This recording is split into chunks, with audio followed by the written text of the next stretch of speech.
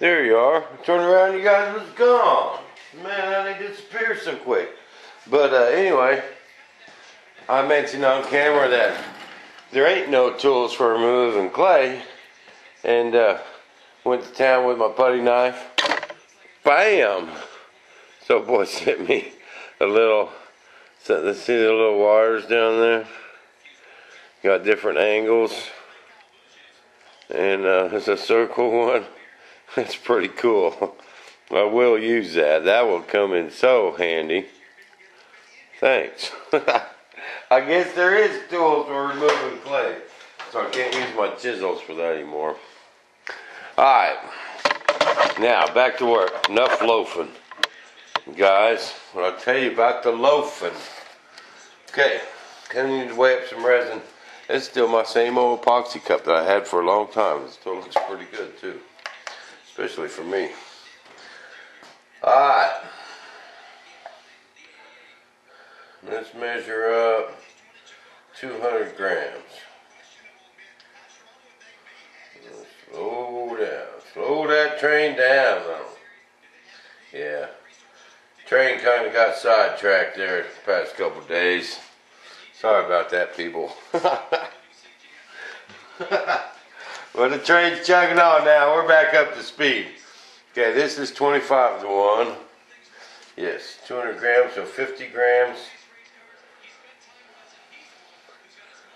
of hardener.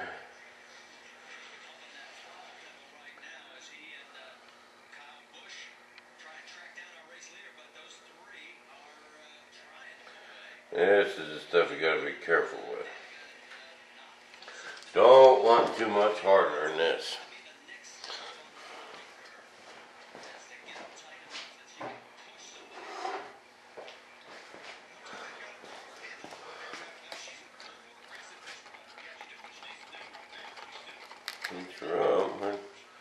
Alright, what to do with the lid for my hardener? Who picked it up? It's gonna be right here.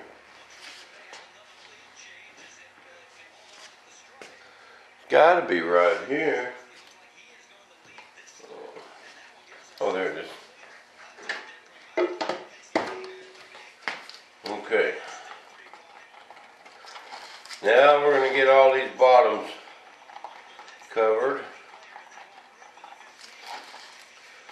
Put a layer of peel ply on everything. Really want to scrape these sides. Really want to scrape these sides down when you're mixing epoxy. So get in there and get the sides of that.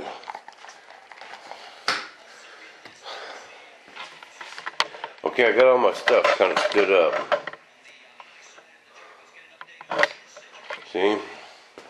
Now, what I can do is grab me a brush.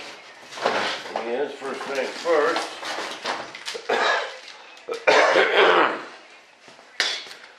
Thing first.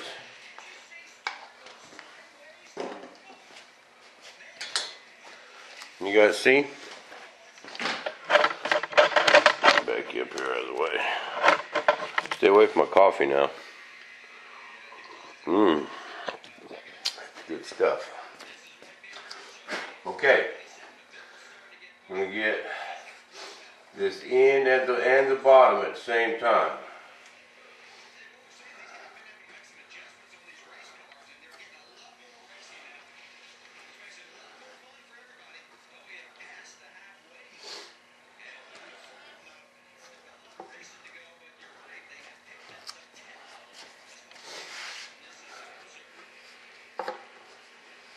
Put me some resin on there first. I already got all my glass cut.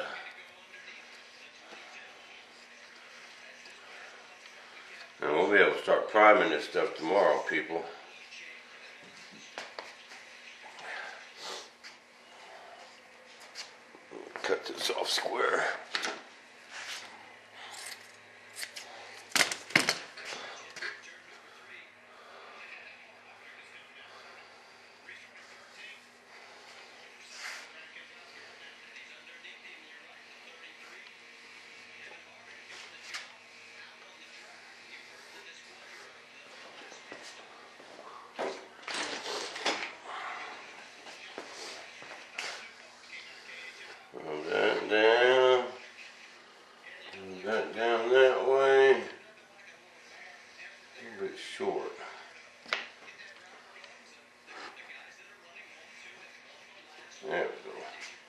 That's beautiful.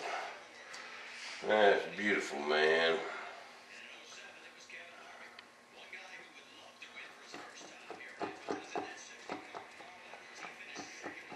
There weren't no dry spots in there. I got some red, I got some more cloth, got some more peel ply, so it's okay to put this coat on a little heavy.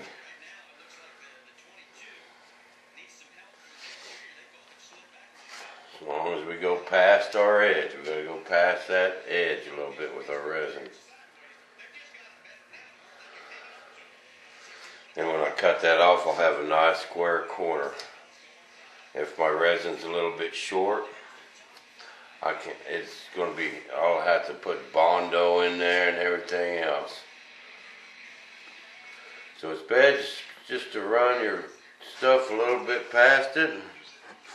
And when you trim it, now when I trim this edge here, I don't want to wait till tomorrow. I'll trim that when this resin starts to set up. And it's firm but still kind of soft. And I can get a nice cut on it, nice sharp cut.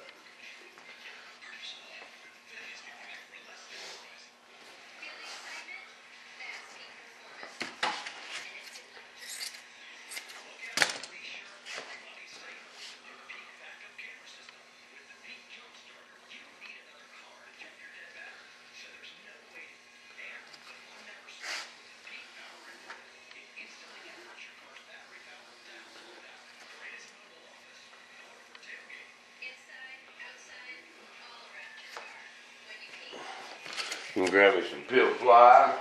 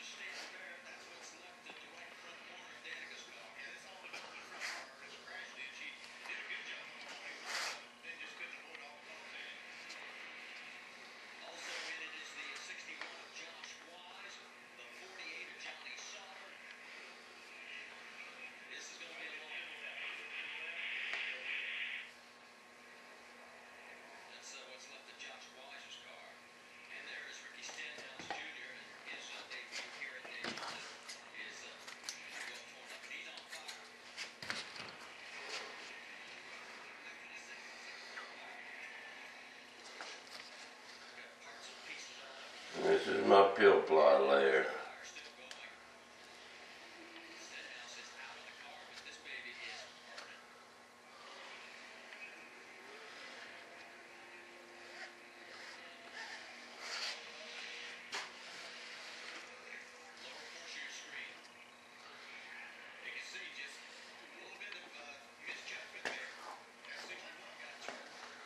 Yeah, it ain't quite long enough. I can put this in two pieces. Not a big deal.